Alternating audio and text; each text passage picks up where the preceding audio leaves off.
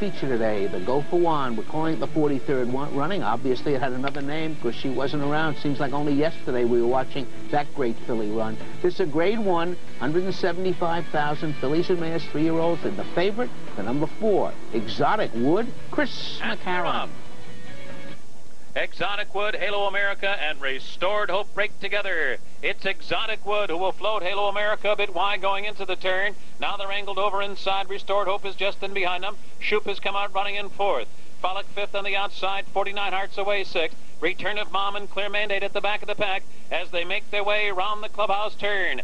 And the favorite Exotic Wood is being pushed along by Halo America and chased by Restored Hope through a sharp quarter in 23 and one-fifth seconds into the back stretch. It's Exotic Wood in front, right on her heels as Halo America pushing her along. Three and a half lengths back, Restored Hope in hand third. Five lengths back, Shoop running fourth. To her inside, it's 49 Hearts fifth, and it's two and a half lengths back to Frolic, who's conserved at the back of the pack with clear mandate, and the trailer is Return of Mom. Four and a half furlongs to go.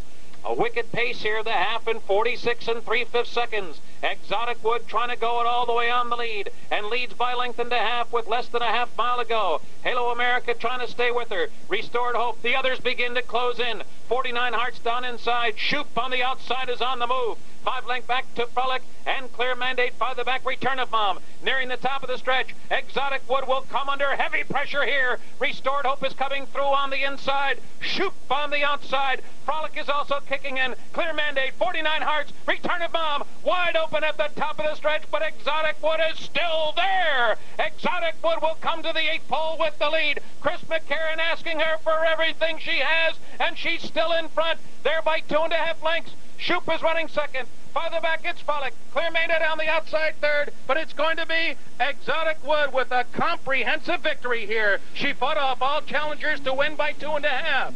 Shoop was second. Chris just hand rides her from the eighth pole. She's annihilating this field. Really good because when they're coming to her, he took a look back. He asked this filly to run. She's never been beyond a mile and a 16, but she does like horse racing. She's lightly raced this four-year-old. This is her ninth start eight wins, one second. She was awesome in the genuine risk at Belmont, and she's awfully impressive here. Exotic Wood. Martin Wygod, Ronald Ellis, Chris McCarron. The coast takes the money. 450, 340, 280. Shoop, 560 and 4. Frolic, 430. Four twos, $25 to try. 428, 100.